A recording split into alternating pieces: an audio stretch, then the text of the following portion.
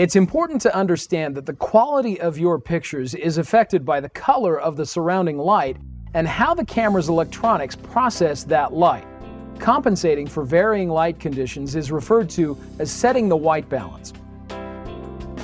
Most light looks white to an untrained eye, but it can be composed of a range of different colors. For example, the color of sunlight is different in daylight, in the shade, or in cloudy conditions. Daylight, for example, is fairly blue, and fluorescent light is fairly red.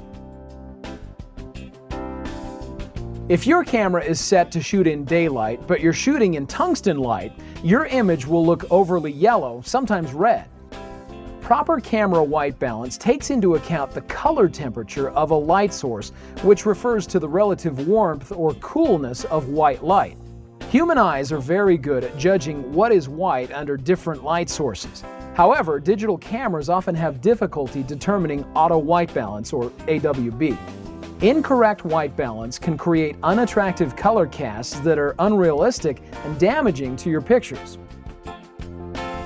The white balance scale is expressed in measurements of Kelvin.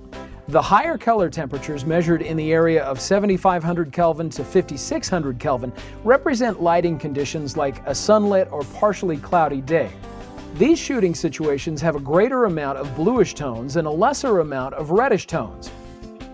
Lower color temperature situations are measured in the area of 3200 Kelvin down to 1900 Kelvin. These light colors come when light is given from a tungsten light bulb or candle light.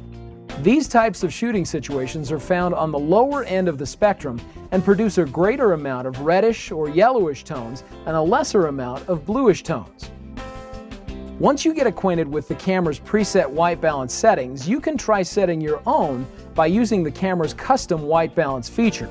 You can learn how to do this on your particular camera by consulting your camera's manual or by finding other reference material like QuickPro Camera Guide's tutorials.